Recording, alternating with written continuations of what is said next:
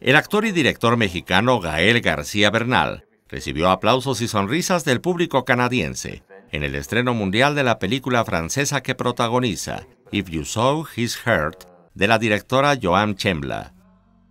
Entre risas y bromas, el reconocido actor respondió las preguntas del público en el lujoso Winter Garden Theatre, donde se realiza el Festival Internacional de Cine de Toronto. En If You Saw His Heart, Gael representa a Daniel, un joven callado de buen corazón, que no lastima a nadie, a menos que esté en peligro su vida. El personaje es un inmigrante latino, expulsado de una comunidad gitana al ser responsabilizado de la muerte de su amigo en un accidente. Además, García Bernal fue escogido por el festival junto con Javier Bardem, Angelina Jolie y Helen Mirren para integrar la serie In Conversation With. Con información e imágenes de Isabel Inclán, corresponsal en Canadá, Notimex.